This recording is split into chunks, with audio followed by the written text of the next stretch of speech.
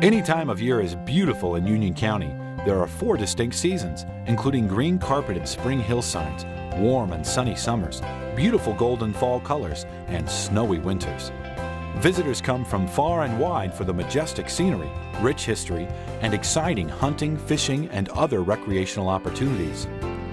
Popular Western and farm related events that occur throughout the summer in Union County include the Eastern Oregon Livestock Show in Union, the oldest show in the Northwest in early June, the Elgin Stampede in early July, the Union County Fair in mid August, and Island City's Hog Wild Days.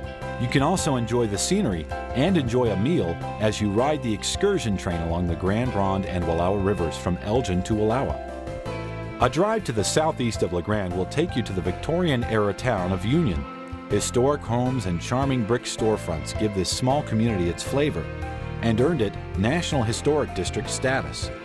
The Union County Museum is the home of the acclaimed Cowboys Then and Now collection, previously housed in Portland.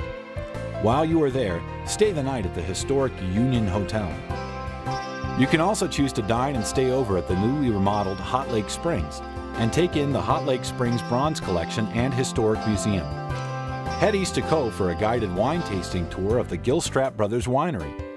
Catch a movie, play, or concert at the historic Elgin Opera House and Museum, recently restored to its full glory. Downtown La Grande's Eastern Oregon Fire Museum houses beautifully restored antique fire engines.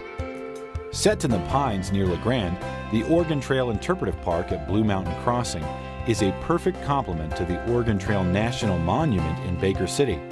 At this park, you can walk along the actual ruts of the Oregon Trail, feel where the wheels scarred the landscape, and imagine the hardship endured by pioneers as they began the most difficult part of their journey over Oregon's Blue Mountains and down the Columbia Gorge.